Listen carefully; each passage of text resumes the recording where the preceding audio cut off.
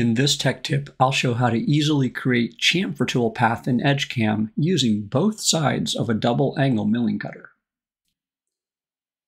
EdgeCam offers a range of possibilities for chamfer milling and deburring.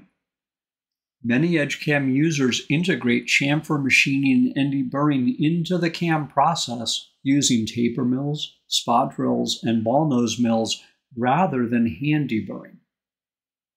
Prismatic geometries such as holes, pockets, and sidewalls are easily handled, but the ability to accurately drive along 3D model edges is invaluable. Users with 5-axis CNC machines can maintain the precise tool engagement that is critical to accurately chamfer contoured walls. In this example, deburring is done using a lollipop tool. The ability to integrate deburring into the CAM process eliminates tedious toolpath creation from various access positions or, even worse, deburring by hand. Now, with EdgeCam 2024.1, toolpath for backside chamfer applications is also easier than ever to build. Utilizing both the front and back sides of double angle cutters allows easy tool path creation for chamfers at the top of model edges, holes, and various features, and the same operations on accessible backside geometry. Additionally, toolpath avoids adjacent geometry and work holding fixtures, eliminating any need to construct or manipulate model geometry and as always, simulation previews machining, which provides a high degree of process security. This part has some toolpath already created for the topside deburring. Let's begin by having a look at the tool. When we go to Tool Store and have a look at the tool and head to the geometry page, notice the undercut distance with a value. This input field is the radius distance expressed from the major diameter of the tool, and it's critical to have a value. If you don't have a value, you will have a tool displayed, but you won't be able to do any undercut machining. When that tool is selected, the value is passed to the More tab of the tool dialog, and key point number one is that tools intended to be used for any type of undercut machining need to have an undercut distance. We can see there's a couple of chamfer cycles that have been built to handle the chamfering on the holes. They're at different steps, so obviously different features. But when we turn off the part rendering and render the feature, we can see the feature has a chamfer already in it. If we edit the feature, we can see the details of that. Or if we went to the feature tab, selected one of those features, and looked at properties, we can again see the chamfer information that has been captured by Feature Finder.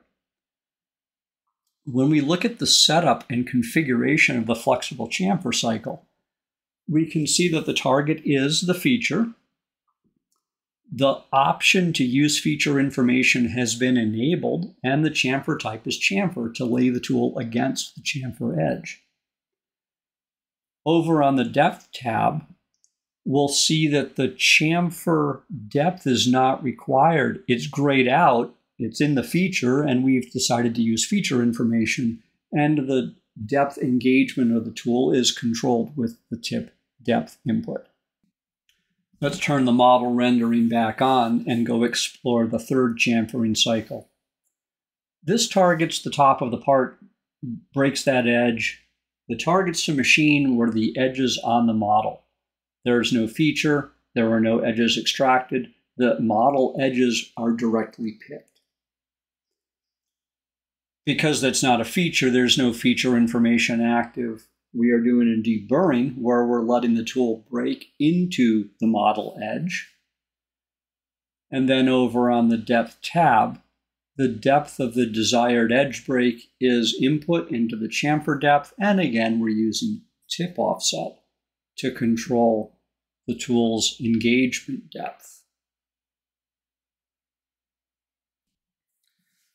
There are upper and lower chamfers at the side of the model, which we will also machine with this tool.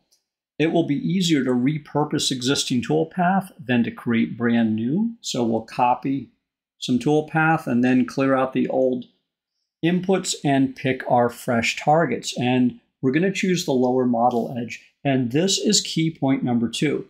The help system clearly says that for chamfer applications, select the lower model edge. We've done that, and returning to the box, we can uncheck use feature information since we targeted a model, not a feature. The application is still a chamfer type. And then on the depth page, we're going to plug in a chamfer depth. Now, you might be able to get away without doing that in this case. However, if you want to use cut increment, perhaps a heavy chamfer, break the increments down to smaller chunks, you will need a chamfer depth value. And let's remove tip offset and use contact point instead for depth control here. This is an open cut, so I want some extensions, and rather than just type a value, I always prefer to take advantage of the formulas in cycle dialogues to build intelligent relationships, in this case to the tool, so that if I change tool sizes later, my values will adjust to the tool, and it just, a little thought here, eliminates some future edits down the road. Check our lead values and we'll change those up. We don't really need them on this type of a cut. Oh, and one of my favorites, comments. The comment is going to pass right through to NC code, so convenient for the programmer and convenient for the CNC machine operator. Before we get to how depth inputs are handled at the backside of a double angle cutter, let's recap how it's always been done with the front side of the tools. So when we think about a chamfer at the top end of the workpiece, whether I'm using a spot drill, a taper mill, a lollipop tool, or a double angle cutter, one of the options for depth input is contact point. And we can put in a value from zero all the way up to 100, anything in between.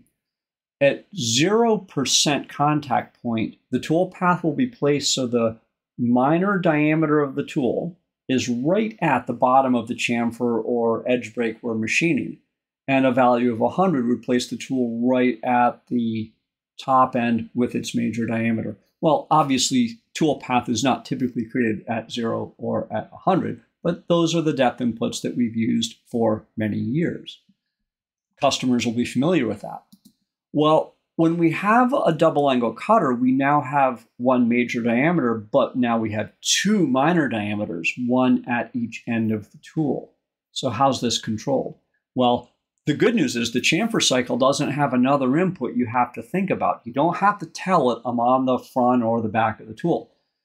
The first thing you need to do is call a double angle cutter from your tooling database, and that tool needs to have an undercut distance input.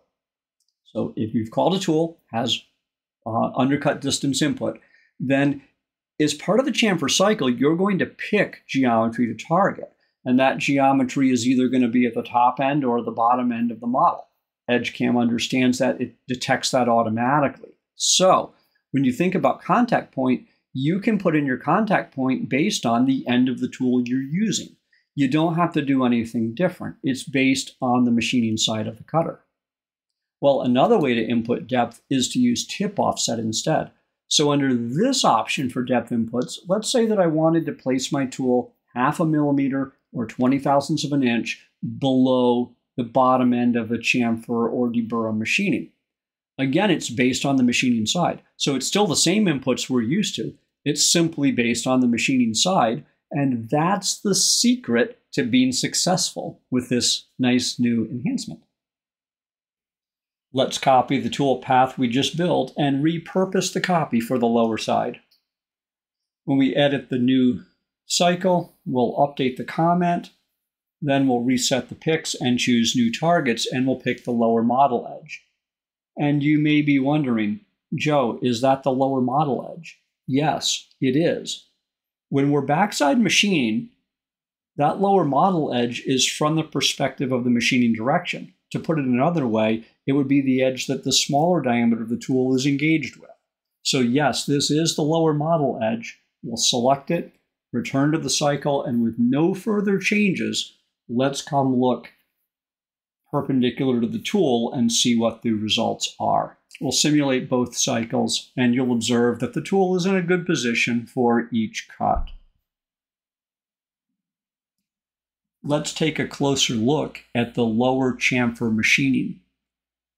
Simulation shows that while the tool path is exactly where we asked it to be, the shank of the cutter is a bit close to the model edge, and we have some more room at the major diameter that we could use for tool engagement to shift the tool slightly off the model edge. Before we make that minor adjustment, I want to remind you of the conversation we had earlier about the engagement points at the minor and major diameters of the cutter and how with the double angle cutter, there's actually one major and two minors. So when we think about the engagement side, we're just going to draw the tool a little bit closer to the major diameter by increasing the contact point. And with that input in place, and then immediately simulating the motion, we can see we've drawn the tool further away from the sidewall.